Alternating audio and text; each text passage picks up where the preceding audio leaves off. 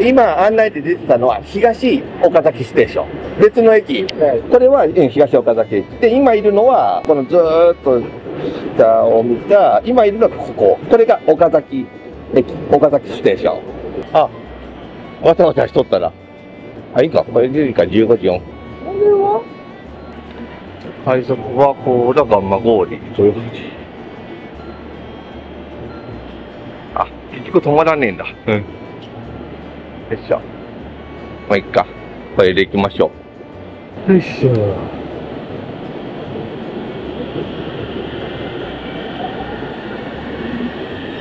ああ。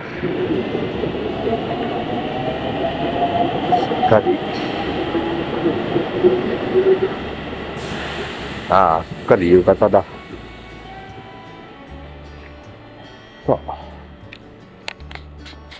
やってきましたよ。三河宮駅。三河宮。なんか、えー、言いにくいですけど、蒲郡なんですね。えー、蒲郡駅の人て。これが、えー、最後の端っこの駅。まあまあ、ちょっと、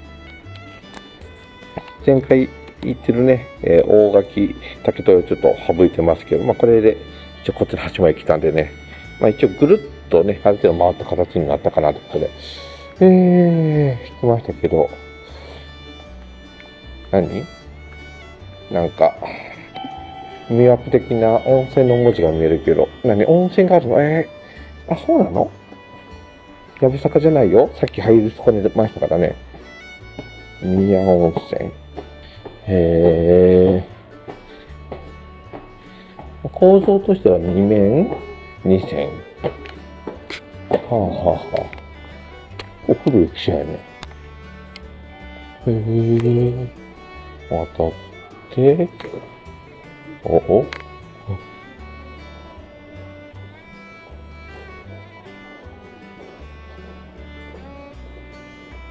えー、っとっとっと。あ、そっちか。どうなんか。あ、鳩か。なんか音がするかと思ったら。ええとこ住んどんな？ん？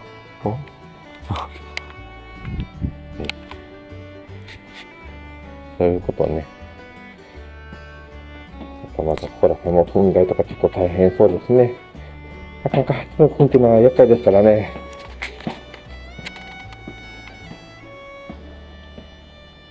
よし。おっとっとっとっと。よいしょ。ああ。全体的に、あ、ここにありますよ。宮温泉。へえ。今回とかも、結構歴史ある感じですもんね。へえ。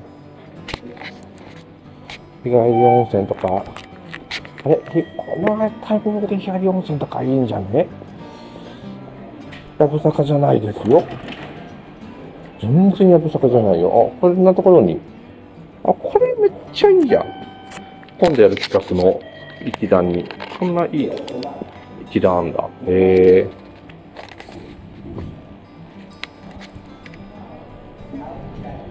いしょ。あ、あ、川宮は、こんな感じね。ええー。端っこは行きましたね。うん、ーっと出とるけど、あ、そっか。端っこすぎて、もはや、料金書に載ってないのか、端っこが。大体の端っことかね。いやいやいやいや。ああ。あ。え、温泉街が近いの？近いの？宮本先生なんか聞いたことあると思ったら、あの蒲郡駅に確か案内出てましたよね。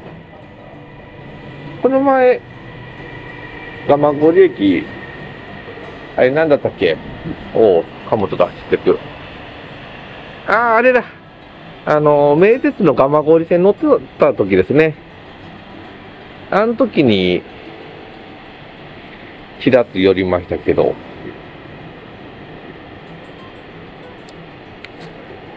えー、えー、っと、温泉はパッと見えるところにはないのか。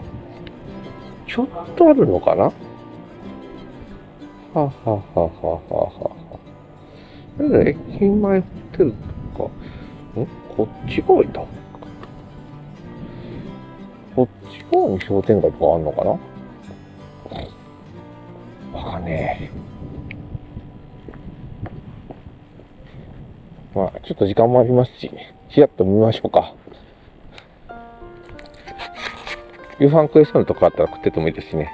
まあ、大手、一回あれすっていうのも手ですけどね。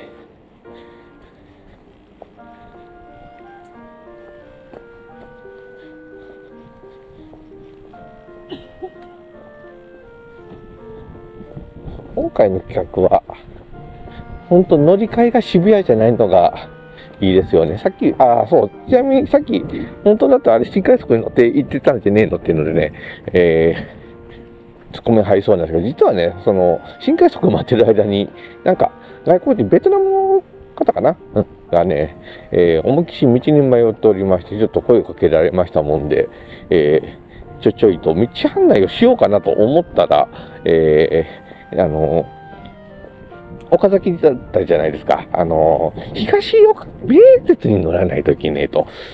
あ、やっちゃってるわ、これと。うん、いうことでね、さすがにね、えー、ちゃんと私がね、払い戻しはできませんからね、そう、切符買って入っちゃってたもんで、あちゃーということで、えー、駅員さんに、えー、ちょっとお願いして、改札まで行って、ちょっと駅員さんに、だだっと説明をして、えー、対応してもらってっていうのをね、やっておったら、普通にいい時間になって、えー、あ、新快速一本乗り越したと。まあまあでも、東海道線なんでね、これがね、名称線やったらね、いやー、そんなことやそれ場所でやーってなるなるところですけど、え、さすがに次の列車待ってれば全然大丈夫なんで、無事にやってきましたよと。行ったのがあったんで、ちょっと、えっ、ー、と、遅れてますね。15分ぐらい遅れてるのかな？うん。あ、でも15分ですからね。